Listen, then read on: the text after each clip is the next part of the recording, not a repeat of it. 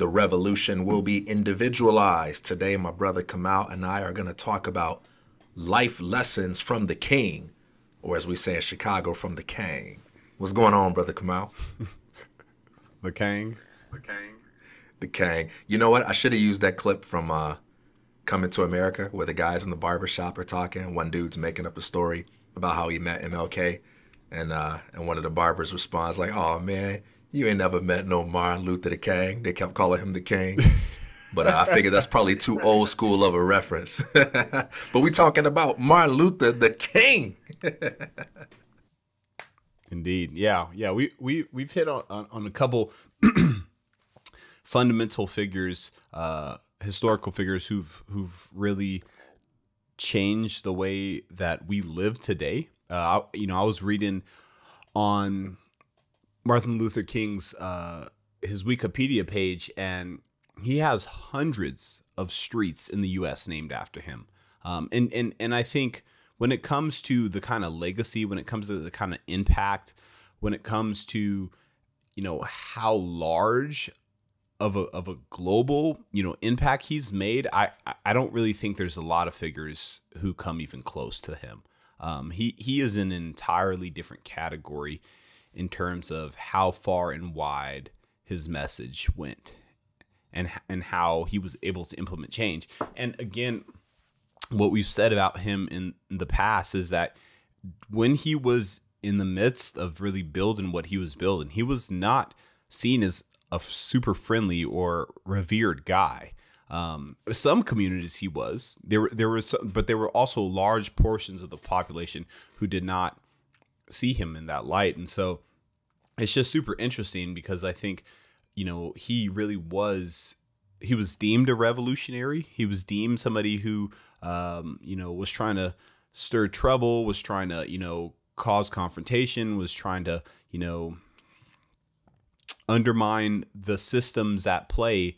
And I think he had um, a vision that that exceeded any kind of permission seeking life. Like he he was really driven by a, a vision and a calling uh, that was bigger than him. I think that was bigger than the people who, who were in opposition to him, and then were even was even bigger than the the people, the present people that he was serving. It, it was just such a grand calling, um, and it was just cool to see somebody who who pursued that relentlessly, despite. I mean, despite everything. 100%, man. He, he's one of those interesting guys, too, because some people tend to be demonized when they die. And he kind of got a little bit more deified during his lifetime. Very controversial, considered to be very radical. And then history kind of got rewritten. The narrative kind of got reframed once he died. And, and a lot of that has to do with the, the martyrdom that, that tends to um, the status of martyrdom that tends to get conferred upon those who are assassinated, especially when they were fighting for justice. But he, he kind of got boxed in by people in, into this category of a guy that was all smiles and all about peace and all about unity, and everybody loved him and everybody was sad when he died. And, and, and he, he's sort of claimed by everyone today when when his national holiday comes up, it's like everybody has nice things to say about Dr. King. But that certainly was not characteristic of his life. Like anyone else, he had a lot of followers, a lot of supporters, a lot of people that he inspired. But he dealt with as much, if not more, smack talk, enmity, uh, unfair scrutiny and investigation, and physical attack you know, he was ultimately assassinated, but that was not the first attempt on his life. I mean, that was even a, a moment where he was um, giving a talk and somebody ran up to him and stabbed him. And, it, it, you know, like he ended up going to the hospital but surviving. But the way his life was is very different from the way we talk about his legacy. And, and he's also interesting, too, because he's one of those guys who you think about MLK, you think about the statement, free at last, free at last. Thank God Almighty, I'm free at last. And yet, because of his economic stances on certain things, he's not really considered much in liberty spaces apart from being a guy that at least promoted peace. But even then, there's a lot of nervousness in talking about him because it's like, hey, but he was a communist, you know? And so I want us to talk about MLK in the spirit of everything that we're doing here um, with life lessons that we can learn from him for the purpose of living lives that are individually prosperous, individually free, and that can hopefully infect the lives of those around us to practice self liberation, self determination, self reliance themselves. So, there was this article that I really liked. There are tons of articles like this, by the way, but one of them is called 32 Interesting Things About Dr. Martin Luther King Jr., and it was by Insider. And, you know, I'll, I'll make sure we, we post a link to it if you want to check it out. But I decided to take um, six of my favorite things from that, and we'll do three at a time. We'll do a part one and a part two, just like we did for Black Panthers last week and uh, or, or, or, last time around. And um, we will um, dive in, taking one at a time. You ready for this, brother? Let's do it. Let's do it. Heck yeah. Heck yeah. Lesson number one His dream was born from personal heartbreak. In the autobiography of Martin Luther King Jr., Dr. King recounted his first personal experience with racism and segregation. As a child, his white friends suddenly refused to play with him anymore, and he credited this betrayal as the moment he first became interested in fighting against racism. One of the things I want to highlight about this is when we talk about finding your calling in life, discovering and doing what makes you come alive, finding your passion, we usually emphasize the positive side of that. Well, what are the things you're curious about? Mm. What are the things mm. you're interested in? What are the things that make you feel really good? What are the things you enjoy so much that you would do them for free? And we spend all our space, we spend all our time in the space of thinking about those things that we don't want to do when when mom yells at us and says, "Hey, it's time for dinner." Oh, mom, one more video game, one more basketball game, one more chapter of this book we tend to limit our focus on passion or calling to those things. What I love about Dr. King's story is that it points out the value of pain when trying to figure out what you're born to do.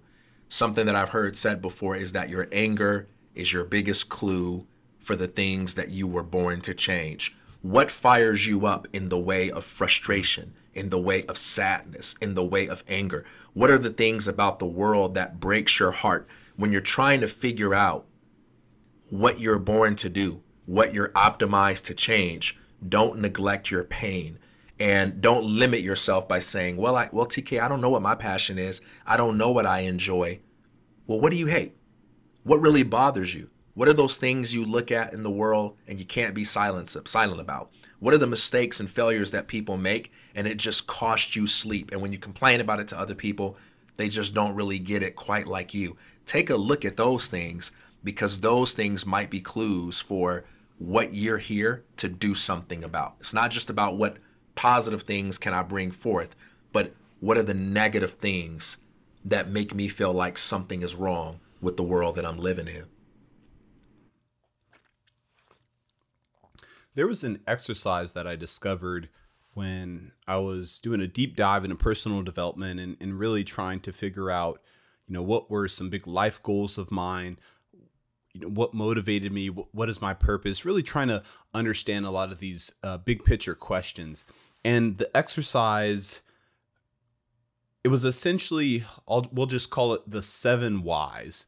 And it was the exercise where you would ask yourself like why do you want to have this one thing? And then you know you would give yourself an answer. And then you would go one layer deeper.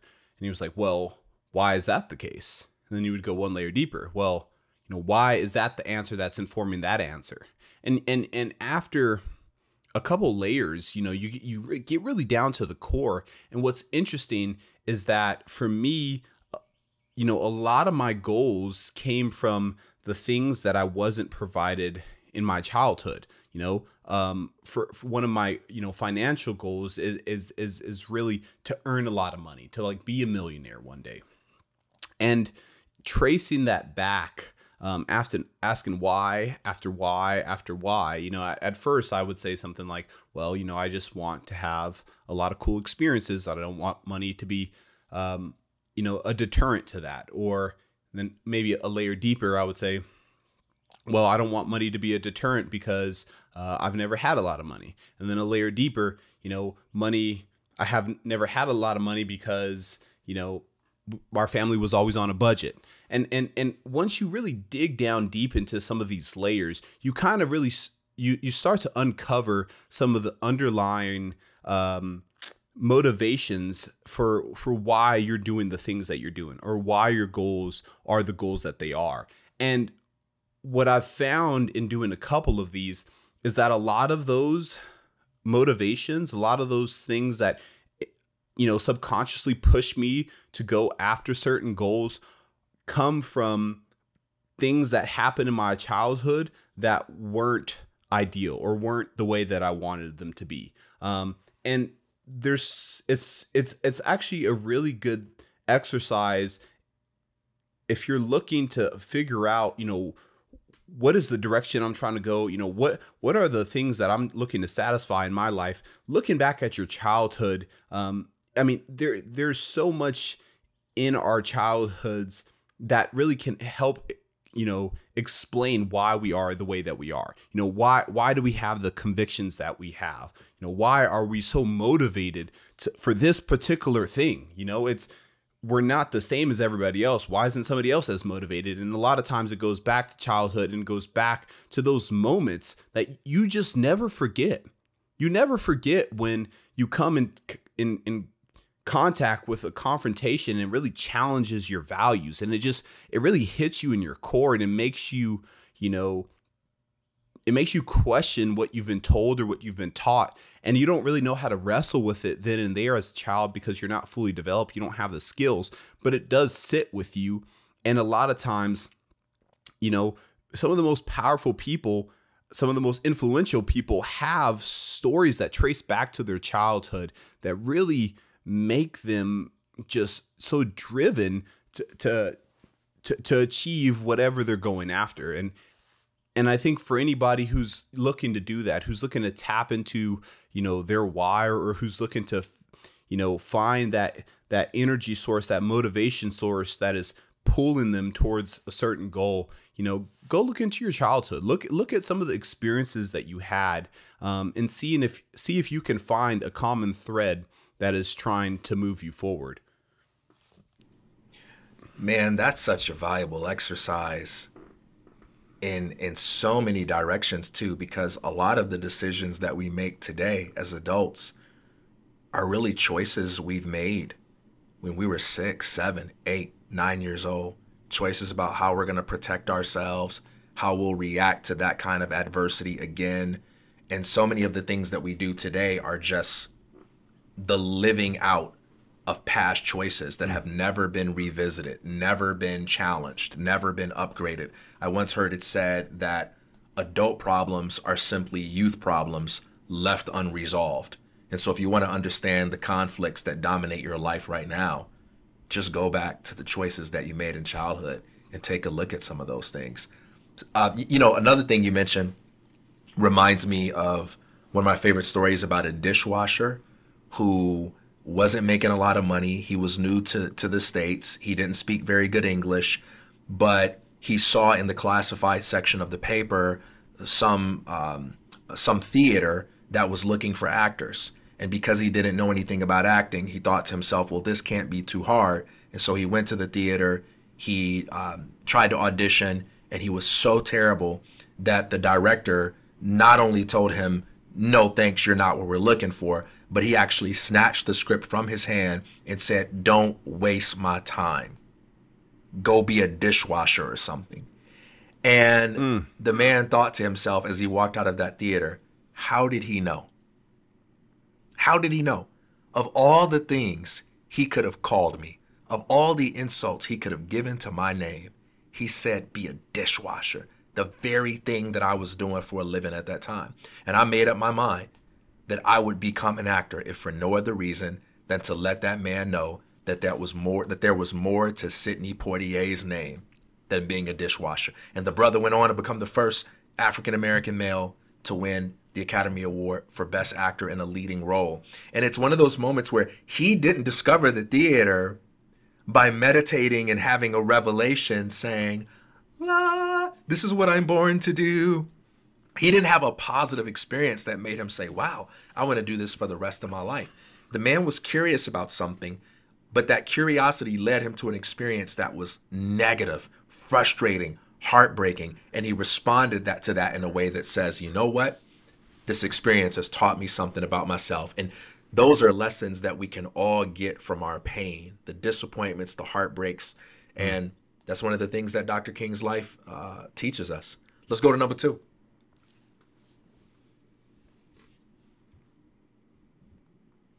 His legacy was grounded in work ethic. From an early age, Dr. King had an established paper route. His work ethic allowed him to be promoted, and he became the youngest assistant manager for the Atlanta Journal delivery station at age 13. I said, I get this mixed up. I said paper route. It's paper route, right? I don't know how to pronounce words, man. Help me out. Yeah, it's paper route.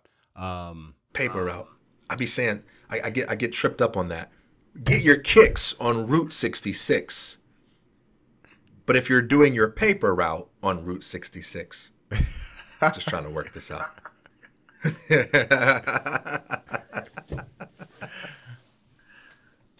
I'm going to do a, a, tongue twister.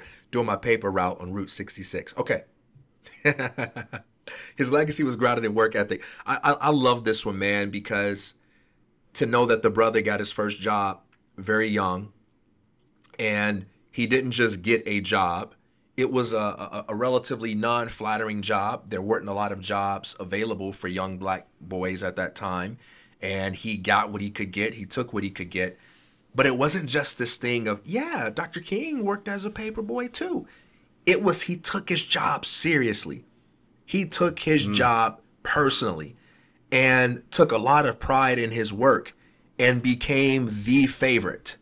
Like that that's a really yeah. hard thing to do.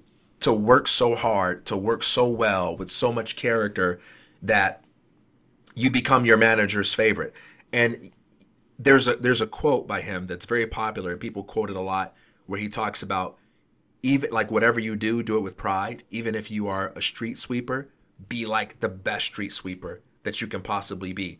And if you don't know the context behind that, you can think, oh man, that's just him talking about some cliche stuff that he must have read in a Tony Robbins book. No, he never read Tony Robbins. He came before Tony.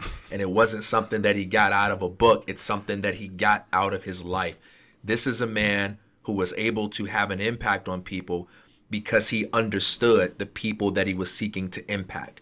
He never spoke to people from a place of not knowing what it was like to work hard and demonstrate character in his own life. And in this age of the striving to be an influencer, the striving to be a celebrity, the striving to get to be the one who is featured and has the spotlight, it can be so easy to forget that it it's more important to focus on serving than on shining. And the only way you can be the kind of person who focuses on serving is if you learn how to serve others in your own life. You learn how to humble yourself and do hard work, even when that spotlight isn't shining on you. And that's something that I felt like he demonstrated in spades. He practiced what he preached in that regard. You know, what I think about is that it's really easy to look back at his legacy, at his career, and be in awe about how big of an impact he had, like how successful he was um, as a leader, as a civil rights activist, um, as a peacemaker, as a pastor, as as all the things that he was. It's really easy to look back, and I think, you know, we we intuitively know that there's something special about that. We know that you know not any old human being can do that. That it takes um, a special trait but I think a lot of people place more uh, value and more um, they give more credit to this special trait, to this you know remarkable human being, this you know godlike figure uh, quality that these kind of people have, and they don't give or place a lot of uh, credit or or value on the work ethic. Um, they they just think that you know well he was an anomaly or he was um, he was special, and I I think I think both can be true, but I think people are missing the work ethic. I mean to to to to leave a legacy, just generally speaking, like if, if you want to be remembered after you die and if you want to have an impact on uh, generations uh, to come, you got to work your butt off. Um, but but to leave this kind of legacy, a worldwide legacy, best believe the brother worked like relentlessly, like a workhorse. I and and what's what's really uh apparent about him as a leader was that he was next level when it came to organizing and collaborating and mobilizing people. I mean, he he he, he would get I mean, you just got to think he would go to different towns in in in the United States and and mobilize people to do a march. He didn't live in a lot of these places, but and and so you know people are meeting you for the first time and you're coordinating for the first time and and to fight a to, to fight oppressive forces that are specifically coming from the government at that time, you you can't just do that unorganized. You can't just spontaneously say, "Hey, you know, let's pick up pitchforks and uh, torches and just hit the streets." Like it doesn't work that way. When the FBI has you on their uh, Co- COINTELPRO, uh, their counterintelligence program that targets radicals, um, you, you you don't get the courtesy of just you know being lax with your approach. It, it takes a lot of coordination and a lot of, you know, just really detail oriented moves. And, and that, that comes from somebody who is co- like constantly on, constantly always thinking, constantly always mobilizing, constantly always uh, networking, constantly always, you know, collaborating. Anything that needed to be done, he was not above it. You know, you, you talk about people or bosses or leaders, you know, who are willing to take out the trash in their organization. I think that that's the kind of man that MLK was. That there there was nothing above him. If it needed to be done, that he was willing to put himself um, on that front line to make sure it happened. And and there's just so much power to be to be learned from a leader who's willing to do that, um, because you essentially enable your movement you enable your followers you enable um, whatever you're trying to do you you you set the example for people. Like that that this mission is more important than myself as as one individual being. Um, and i think he he was it was just really impressive the way that he carried himself and he articulated it. And that like you said it, it that is grounded in his work ethic I love what you had to say about all of those things that he did, those dramatic things that we notice him for, and how that was the product of the preparation that he had outside of the spotlight. Your ability to deliver in the big moments will be the result of the habits you cultivate in the little moments. You said it best in a previous episode where you said excellence is a transferable skill. When you think about mastery, it's not like a light in your room where you can just ignore it for days and days and days. And then when you're ready for some light, you flip on the switch. Excellence doesn't work like that. You can't hold yourself back for the big moments, the dramatic moments, the moments where the spotlight is on, and expect to be able to show up if you're not practicing during the non glamorous moments where there is no crowd. I think uh, Muhammad Ali was the one who said that champions aren't made in the gym uh, they're only recognized there you know or champions aren't made in the ring. They're only recognized there. You know they're made in the empty gym. They're made in the crowdless weight room. They're made in the lonely nights where you are studying other boxers or whatever it is may be to make yourself better. And i, and I look at this. The, he was the youngest assistant manager for the atlanta journal delivery station at age 13 there are some jobs that I think are just harder for us to take seriously especially when we look at them as transition jobs or jobs that are not part of our calling or things that we don't even really care to be remembered for.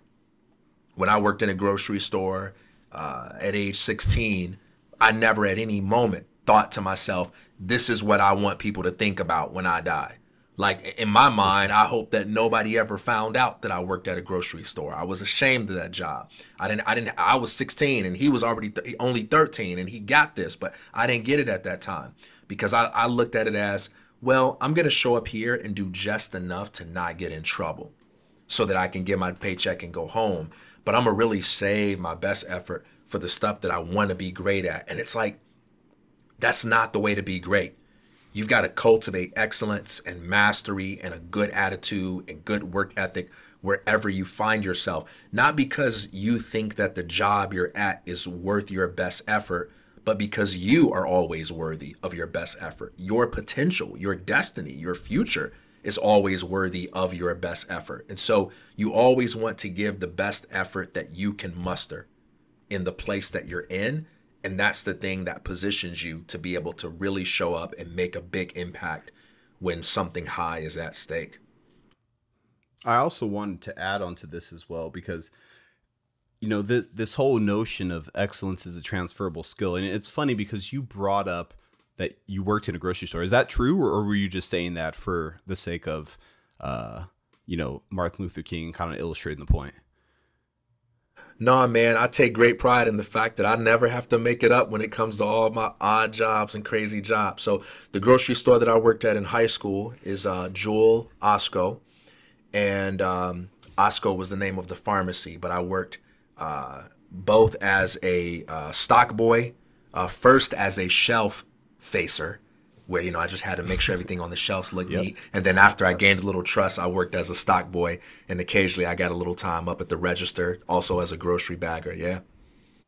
Yeah, yeah. So you know, I I too worked at a grocery store. Um, I was actually much later than both you all uh, in in my life. I was uh, 21, 22, 20. I think 23 was the last year that I was there. But I mean this was that was a really tough time for me, uh, really embarrassing. And like you said, I, I didn't actually want people to know that I worked at a grocery store. I mean, all of my friends at that time they were either uh, graduating college or they were starting like their first, you know, big boy, big girl jobs, and I was at a grocery store. And I was facing shelves and I was, you know, mopping floors and uh, cleaning up spilled milk and broken eggs and helping people out to their cars, the whole nine yards. And I think starting off that job, I, I, I, had a very similar approach where I was just like, you know, I'm just here to collect the check. Um, you know, we're, we're at a grocery store. This job isn't that serious. This isn't what I want to do with the rest of my life. Um, it's it's kind of whatever. Like I'm just I'm just here because I, I have bills that I need to pay and whatnot. And I, I, I I don't I can't attribute the the the mindset switch to any particular thing, but I will say I, I I just got tired of kind of dragging and I got tired of of hating my job and I got tired of you know just just this kind of heavy resentful feeling that you feel when you walk into work. You're just like F like I why am I here right now? Like I I I hate this. I don't feel like doing this. And I think that really comes through a mindset shift. Like all of us have stuff that we don't enjoy doing. Um, and there's two ways that you can approach it. There's the way that like, man, I have to do this. You know, this is some BS. Or you can approach it like, this is what I get to do. Like I, I get to do this. I have the opportunity to show up um, and, you know, and, and, and make customers happy or, or whatever that looks like in your role. And so that, that was a mindset shift that I, I just embodied. And what, what's cool about really taking your responsibility, uh, you know, by the reins, um, and just, and just really embracing the opportunity that you have in front of you is, is that it's, it's a momentum kind of game like the more that you do that the more that you kind of get invested in in the job that you're working at or or you know for me it was the grocery store that i was at and and really trying to be the best you know trader joe's trader joe's employee i could be you know, having the best customer service or always making sure that I was going to get a raise or having good reviews. Like just just trying to be the best. Like what was cool was that I, I just built up so much life momentum. Like I felt really confident about where I was and I felt confident about my potential. I felt confident about, you know, what was going to be next for me. Like I didn't know for sure what was going to be. I didn't know which job, I didn't know which company, I didn't even know which industry I was going to get into.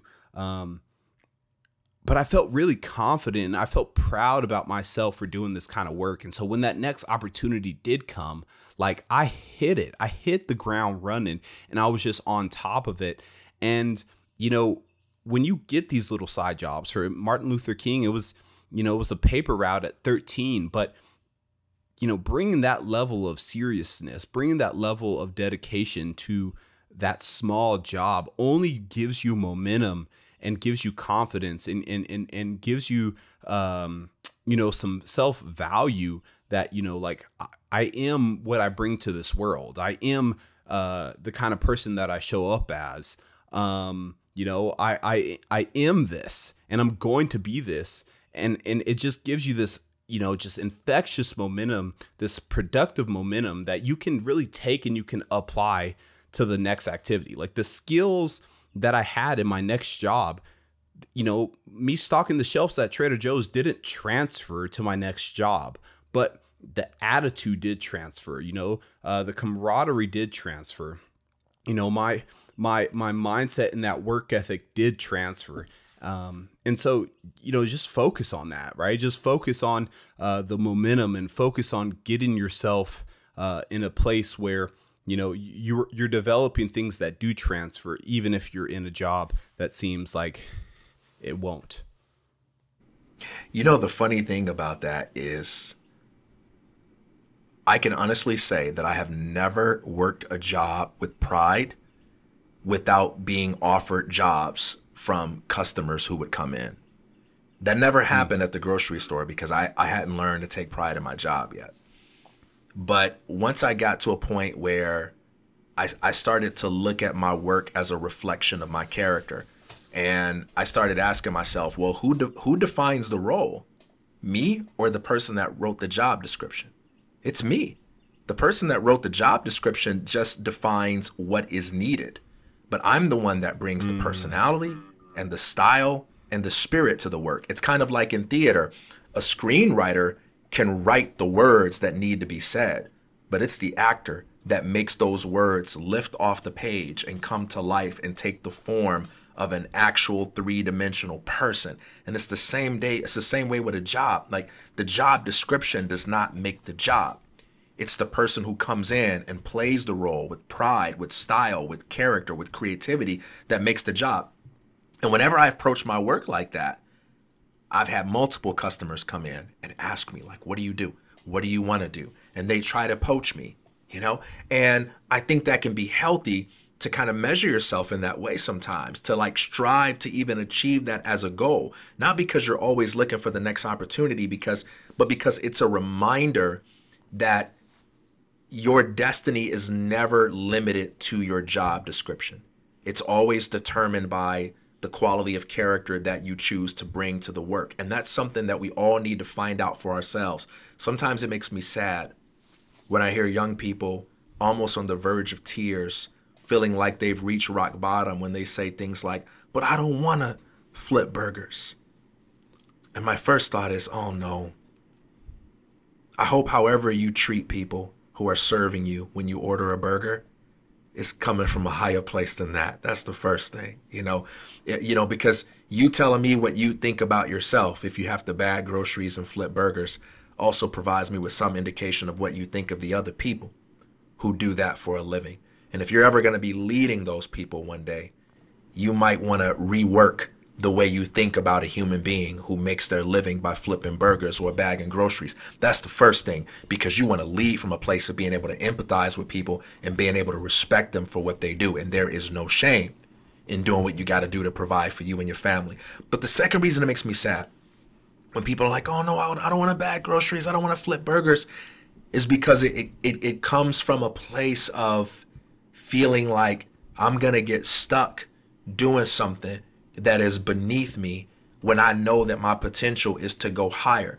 But if your potential is to go higher, there is no job that will ever be able to contain you if you are committed to your personal growth. You will outgrow that job faster than you think is possible if you are committed to excellence in whatever you do. And once that big opportunity does come along, you will be ready because you won't need to pull yourself together in order to in order to, you know, deliver at the big moment. You'll have used all of the little moments to become a seasoned, experienced person who shows up consistently because they just respect the craft of being who they are, you know? Yeah.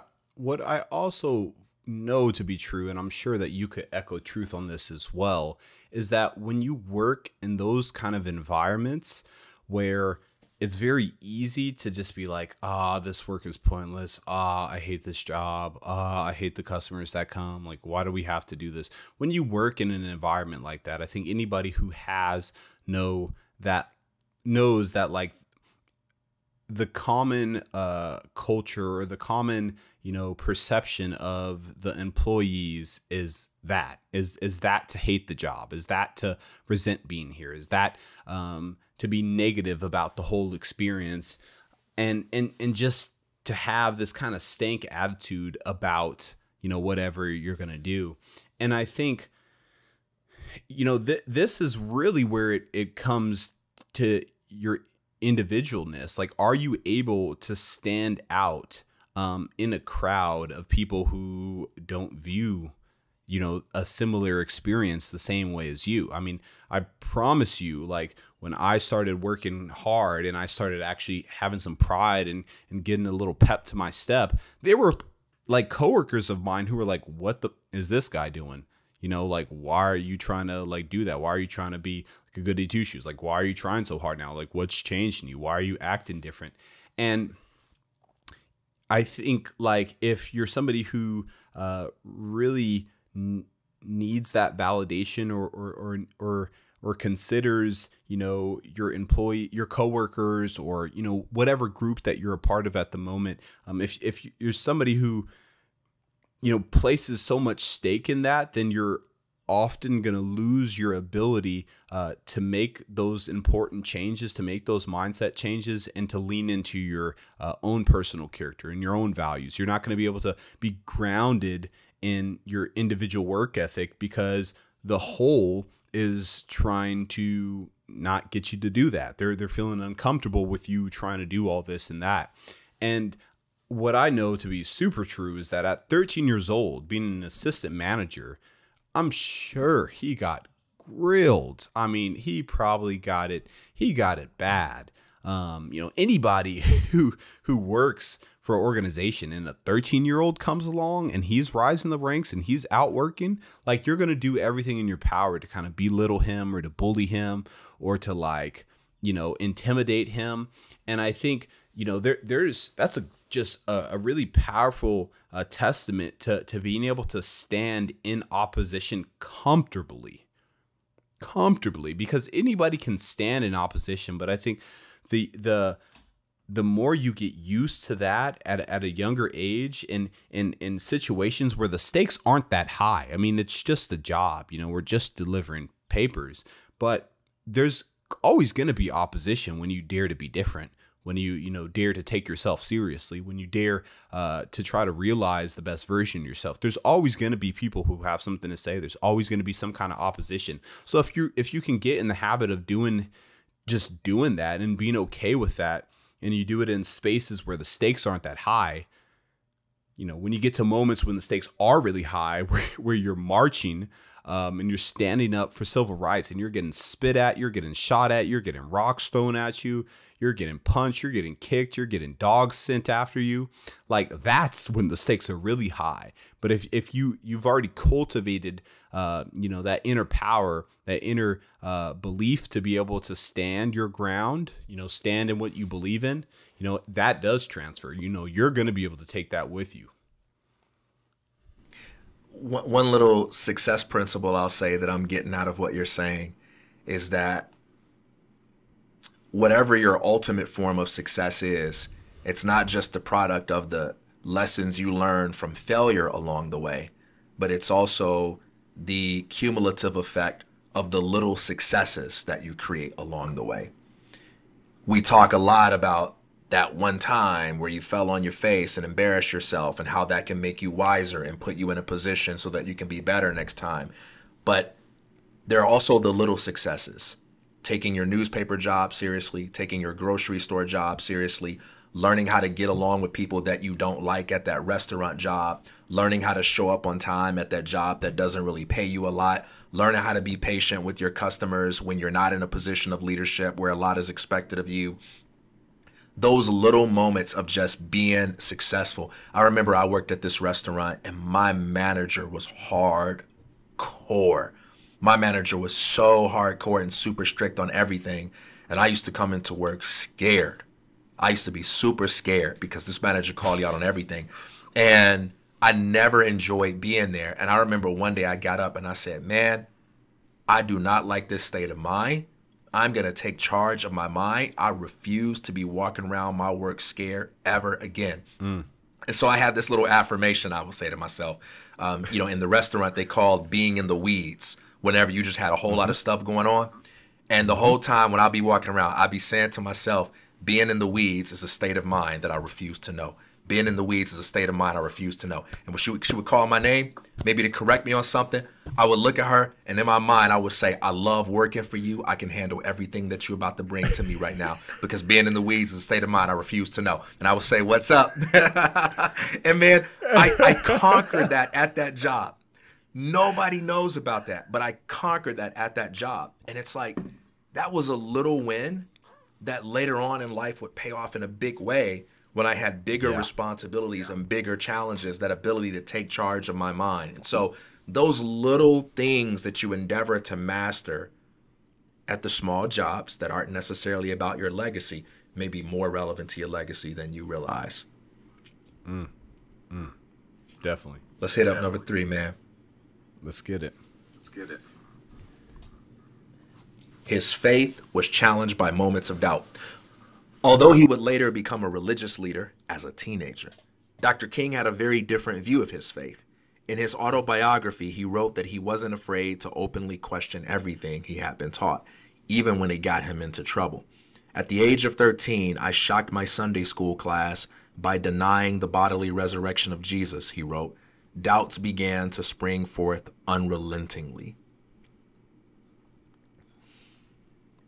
For anybody who thinks questioning your faith is just a personal thing, just something that only affects you and maybe the anxiety or sleeplessness you feel, you're somebody that did not grow up in church. Because if you think the world is rough on your beliefs, if you think the YouTube comment section is rough on anything you say that may not be right or doctrinally sound, you ain't grow up in the church because Christians don't play. Church folks don't play. There is no shortage of videos you can go find on YouTube where preachers are calling out other preachers by name. I mean, I, you, you don't even see this much in a rap industry. You know, and I'm just describing. I'm not even evaluating. But you can find so many videos of pastors calling out other pastors by name. This person is a heretic. This person is wrong. And so having moments of doubt and expressing those doubts out loud, even if you're not a religious leader, even if you're just a church attendee and you have brothers and sisters in the faith who know you and like you, that's a socially risky thing. It makes people worry about you. It makes people wonder about you. It makes people question your legitimacy, question your sincerity. And in this generation, I don't think we do a very good job at making a distinction between a person being flawed and a person being a fraud. We tend to conflate those two things. We're all flawed. We're all, we're all flawed. We're all imperfect. But a fraud is somebody who deliberately deceives. And we tend to treat people when they are flawed as if they woke up in the morning and decided that they were going to deliberately act out those flaws for the sake of taking everybody off and manipulating society. And so when people exhibit these flaws in their beliefs and in their behavior, we can be very hard on them. Now, take that and imagine this brother is a religious leader. He has more influence on the beliefs of his congregation than the average person who just attends a church. To ask questions, to be honest about your doubts, is one of the noblest things that you can do. But to do so in an environment where you are expected to toe the line, where you are expected to recite the creed, where you are respected to represent the faith, is an incredibly difficult thing to do. And while I will not vouch for every aspect of his theology, and while I won't identify with every question that he asked or every doubt that he had, I know that in my own life, I have my own battles with doubt. I have my own moments where I may question myself, I may question my faith, I may question the people around me, and I have never been able to move in a positive direction by just pretending like those things don't exist and by saying, oh, uh, what's expected of me? What's my brand? I better say the things that line up with that. It's only when I'm able to find my brothers that I can get together with and say, hey, I'm having questions or doubts. It's only a way where it's only when I can say, "Hey, I'm wrestling. I'm wrestling with this right now. I'm processing this right now. I'm praying about it. I don't know where I stand." That good things can happen. And so I think what we have in Dr. King is a really great example of what the right relationship to faith should look like. Not so much in terms of listing out his theological beliefs and saying, this is the right example of faith, this is the right example of faith, but more about the right way to hold faith. That faith is the combination of sincere belief plus the willingness to grow through questioning and the honest expression mm-hmm. of doubt. You know, I, I, I actually kind of want to ask a question here because what I know, at least what I've heard about, you know, Dr. King and, and, and because he was such a, he was viewed as such a religious figure, I think, you know, a lot of folks used that as almost like a point of attack. Like, you know, aren't, aren't you supposed to be like a good Christian man? Like, why are you causing all of your congregation to go through all this? Why are you putting them through this hell? Why are you, you know, exposing them uh, to th- these kinds of evils and this kind of danger? You know, why why are you asking people to sacrifice their well being uh, for you? And and and you know, a lot of it was used to frame him as somebody who was selfish or somebody who you know was manipulative. Um, and so, you know, how how have if you have, how have you navigated it when people, you know, use a faith that you identify with as, you know, means to maybe discredit you or to question your loyalty to the faith or, you know, um, try to use your, you know, your faith to expose some of the things that uh, they feel is not the most accurate version of that faith. I think about that moment in The Matrix Part 2 where Commander Lock is arguing with Morpheus and he says, Morpheus, not everyone believes as you believe. And Morpheus says, Fortunately, my beliefs do not require them to. Part of my faith includes understanding that there will be people who reject my faith. And whatever your beliefs are about any matter, your beliefs need to be big enough to account for the fact that not everyone will believe as you believe. Power doesn't come from getting everyone to agree with you. Power comes from being able to stand up for your convictions in spite of the fact that some people never will agree with you. And all too often, we limit our concept of power and social change to the realm of argumentation. I'm going to change the way you see things. I'm going to reason with you. I'm going to argue with you. I'm going to provide you with evidence. And some people just don't see it your way. Some people just don't want to see it your way. Some people just don't like you and they won't accept anything that comes out of your mouth because of judgments that they've made about you. Some people have too many insecurities or issues going on. Some people don't have the time or willingness to even let you make that argument while they sit around and listen. There are all sorts of factors going on in terms of your effectiveness or lack thereof with persuading people. But that's not the only form of power. We have the ability to act on our faith in a way that transforms the world, even while the non believers and the haters and the doubters mock us from the sidelines. And I think that's something that Dr. King embodied well. when you see the footage of the dogs, when you see uh, uh, or, you read the letter from the uh, from Birmingham jail, this is a man who understood that the world around him was continuously questioning, mocking, or rejecting his convictions. And he wasn't doing what he did because he had social consensus. He was doing what he did because he had spiritual conviction. And so there is a virtue in not being too shocked by rejection and persecution. One of the reasons why I encourage young people to put their ideas out there and, and, and to leave the comment section and join the creator section is because only when you join the creator section do you get a chance to develop the kind of maturity and inner substance that comes from other people critiquing you, misunderstanding you, ignoring you, laughing at you, saying I disagree, saying I think you're wrong, saying I don't think you said it well, and so on. And I think that's a necessary rite of passage, not only into adulthood, but into leadership, into maturity. You just can't be too shocked by rejection and disagreement. You know, there's something that I wanted to share that you actually just shared with me yesterday. um, and it went something along the lines of there's a fine line between insanity and genius. Um, that if you are somebody who, you know, who really just has a belief that that is just so internalized and so deep that a lot of times you're willing to go to the ends of the earth to fight for it. That you know you're willing to pursue um, this calling amongst all odds, amongst all doubts, amongst you know whatever kind of criticism and uh, deterrence are are brought your way. I think it's easy to look at uh, MLK's legacy and call him a genius after the fact. Um, but for decades of that journey, he was labeled as insane. This man is insane. He is crazy. He is out of his freaking mind.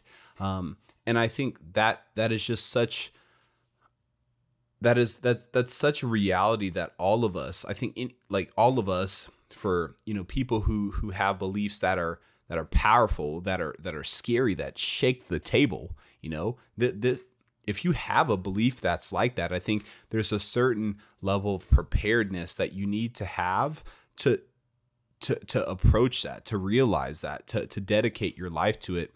Uh, and it's it's it's freaking scary, you know, to to know that you're going to be labeled as this insane person, that you're going to be uh, that they're going to try to oust you, that they're going to try to um, you know do whatever they can to discredit you or, or just not take you serious or, or whatever the case may be. But there's just such a fine line between that insanity and the genius. Um, and and it's it's that's the case because people can't other people can't see that vision. They can't see what you see. And it's the the the the mission, the message, you know that that calling is given to you for a reason because you have the vision. You get to see it. You know what to look for, and you know uh, where it can go if it's fully realized. And and it's just one of those things that I think takes courage, just just a tremendous amount of courage uh, to lean into that, to lean into despite what other people's labels are, whether that's insane or genius, like I know truth and I'm I'm going as far as I can go with this truth. Um, and I think you know, for some of the figures we've talked about, like Malcolm X um, or other figures, you know, it's society who ends up being the one who labels you insane or genius. But if you're committed to truth, I think truth is the thing that's going to set you free. Um, and and it's going to bring you above everybody else's uh, opinions. This is this is partly why I take issue with the uh, be on the right side of history idea. A lot of people use that phrase. I'm doing this because I want to be on the right side of history, or you need to make a choice right now to be on the right side of history. And I get the cement the sentiment well enough to charitably interpret it. I get it. They're usually using that phrase as a synonym for doing what is morally right, do the right thing. But I prefer just sticking with do the right thing. Because when you use that phrase, be on the right side of history, it creates the illusion that you actually have the ability to come close to predicting what the right side of history will be. History is about the past, not about the present. And when you are trying to make choices that will put you on the right side of history, that means you are acting in the present while making a prediction about people who will come along in the future and how they will interpret what you are doing in the present in light of the values that they have, in light of the interests that they have, in light of the culture that they are a part of. And if there's anything that's obvious, you look at the world today, every generation has things about them that causes them to look at previous generations and say, you know what? I don't think that person was all that. You know what? I don't think they were virtuous. And, and I actually don't like the way y'all let that person get away with saying this or doing that. And we can't always predict that because part of being wrong is not knowing that you're wrong. Part of being uh, susceptible to the cultural influences of your day is that you don't see those things as the cultural influences of your day. You just see it as the reality in which you live. And so you can't know for sure if you're going to be on the right side of history. You can do the right thing. That part you can control. But future generations, depending on who's in power and so on, they might come along and say, yeah, that guy, everything he said was idiotic. Everything he did was wrong. And you want to be the kind of person who goes to your grave with the kind of conviction that says, regardless of what they say about me when I'm gone, regardless of how the next generation defines virtue and vice, if they choose to look back on my hmm. generation and say this guy was a complete idiot, I lived as I believe. I stood for the truth. I spoke my convictions and I acted consistently with those convictions. I just want to be on the side of truth. And history, that'll take care of itself. And ultimately, God will take care of the historians. I love that.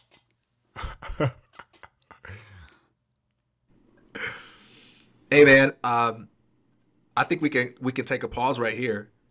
I've got three more that I want to go through. We can treat this as our warm up, and we can come back next week for part two.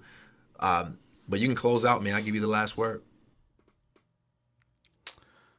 Well, well, thank you. Um, you know, I, I, I, w- I would just say like a- as we're we've really been talking about um, a lot of these revolutionary figures uh, a, a, lot of these people who were in opposition with popular opinion, um, it, it's really just given me confidence uh, to lean into the things that I care about um, as an individual and and to be okay with